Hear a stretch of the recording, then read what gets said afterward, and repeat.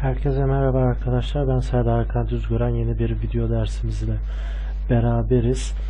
Bu dersimizin konusu e, Blended e, Box Map konulu dersimizin ikinci bölümüne geçtik arkadaşlar. İlk bölümde e, ana konsepti işlemiştik. Şimdi in context'i inceleyeceğiz. İn context nedir? Şu an ekranda görmüş olduğunuz gibi eğimli e, yüzeylerde, arazi gibi yüzeylerde Blended e, Box Map ile beraber e, tekstür uygulamalarının nasıl yapılacağını öğreneceksiniz. İsterseniz fazla vakit kaybetmeden başlayalım. Şimdi böyle bir yüzeyi nasıl oluşturabilirsiniz arkadaşlar? Hemen size göstereyim. Üst taraftaki ribbon menü içerisinde freeform, e, push pull ve shift komutları ile oluşturabilirsiniz. Gördüğünüz gibi aşağı yukarı her türlü e, çekiştirip istediğiniz gibi eğimli e, arazi yüzeyleri oluşturabilirsiniz. Hemen devam diyelim. Bu texture dosyalarını arıyor. Yerlerini gösterelim. Onların yerleri ama isimlerini değiştirmiştik. Fark etmez. Remove all deyip devam edelim. Evet. Şimdi arkadaşlar dosyamızı tekrar açtık. Bir render alalım.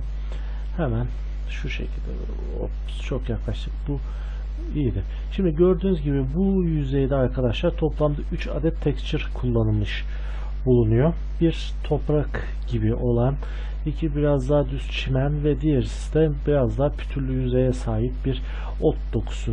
Tabi biz bunu scanline render aldığımız için e, çok da kaliteli bir görüntü elde etmiyor ama size tavsiyem hani e, Blended Box Map'in uyumlu çalıştığı render motoru V-Ray var. E, özür dilerim. E, V-Ray ile yaptığınızda daha kaliteli sonuçlar elde edebilirsiniz. Şimdi hemen materyal editörümüze gelelim. Bunların tamamını siliyoruz arkadaşlar. Öncelikle o size işlemin mantığını anlatmamız gerekiyor. İlk bölümü izlediyseniz zaten e, Blended Box Map hakkında genel bir fikre sahipsiniz. İzlemediyseniz e, bu ikinci bölümü izleme, izlemenizde bir fayda olmayacak arkadaşlar. Önce ilk bölümü izlemeniz gerekiyor. Diffuse Color içerisinden genel ve buradan da Blended Box Map'i seçiyoruz arkadaşlar. Evet. Buradan da tıkladık ve menümüz açıldı. Şimdi arkadaşlar buradan Load Maps tıklayacağız. Load Maps'e tıkladıktan sonra zaten masa üstündeyiz. Burada hemen gördüğünüz gibi Serdar Front, Serdar Left ve Serdar Top adında X, Y, Z olarak 3 adet texture'ımız var. İlk önce bunlarla size bazı şeyler anlatacağım. Open dediğimizde gördüğünüz gibi burada 3 adet texture'ımızı oluşturdu. Sonrasında hemen şunu küçültelim ve buraya geri gelelim. Şu küçük çaplı bir render alalım. Hala onun etkisinde buradan uygulamayı gösterelim. Attık. Tekrar bir render alıyoruz. Gördüğünüz gibi oldukça bozuk görünümüne sahip bir render aldı arkadaşlar. Biz bunu nasıl düzelteceğiz? Ee, mesela küp diyoruz. Buradan picket seçili. Keşke kapamasaydık. Evet. Şöyle açık kalsın. Bize çok lazım olacak. Sonrasında size'a geliyoruz arkadaşlar. Render diyoruz. Mesela buradaki size'ı 100. Bunu 25'e düşürüyoruz. Bakalım neler olacak. Birazcık daha düzgün bir şekilde çıktı arkadaşlar. Buradan size kısmından mesela longest seçelim. Yine daha değişik görünüme sahip oldu. Ama biz e, çok yakından bakıyoruz arkadaşlar. Birazcık uzaklaşalım. Evet bizim için daha iyi olacak. Evet hemen şöyle bir render alalım.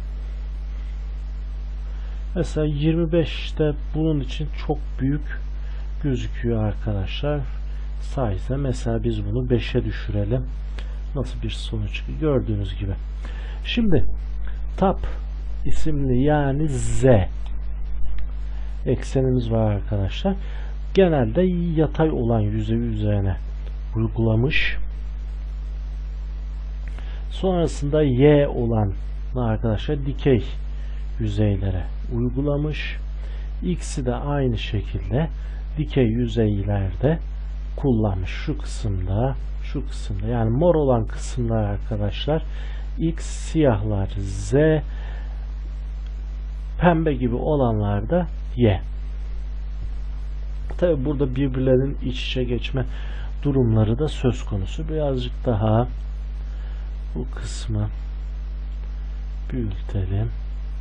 Şimdi mesela arkadaşlar burada map scale var. Ee, Bunu da 50'ye düşürdüğümüzde bakalım neler oluyor. Daha derli toplu bir görünüme sahip oldum. Mesela burada 10 milim olarak geçiyor yükseklikte. Bunları 20'ye çıkartırsak biraz daha e, küçük görüntü elde edebiliriz. Hani büyütme küçültme işlemlerini buradan da yapabiliyorsunuz aynı şekilde. İlla ki e, bu e, menü üzerinden de yapmanıza gerek yok. Buna tıklayarak da yapabiliyorsunuz. Sonrasında arkadaşlar bağlantılarını kesiyoruz. Bir render alalım. Gördüğünüz gibi bu şekilde kaldı. Bunları hemen şöyle alta alalım. Sonrasında no map diyor. Bitmap. Gelelim bizim front kısmında ağırlıkta bu olsun. Sonrasında tekrar bitmap diyelim. Ee, aralara biraz çiçek serpiştirelim. Sonrasında düz çimen olan vardı. Şuradan kontrol edelim. Evet bu yanlış resmi atamayalım. Evet bu şekilde hemen renderımızı bir alalım.